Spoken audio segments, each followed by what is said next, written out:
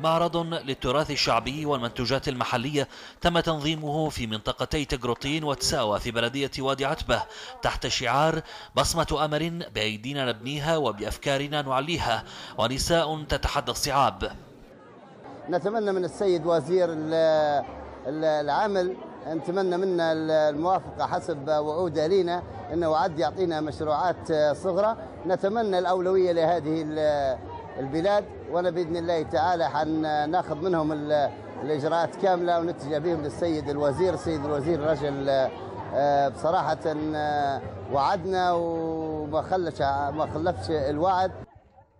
حضر المهرجان الذي أقيم في مقر المركز الثقافي تجروطين وصالة الاحتفالات الكبرى في تساوى عميد بلدية وادي عتبة ومدير مكتب الثقافة بوادي عتبة ومدير المركز الإعلامي وعدد من مسؤولي مؤسسات المجتمع المدني وحقوق الإنسان بالإضافة إلى جمع كبير من الأمهات وأهالي بلدية وادي عتبة.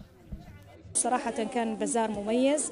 آه، ارتباط أهالي المنطقة مع بعضهم في هذا البزار آه، كذلك آه، وقوف المرأة لإظهار نشاطها.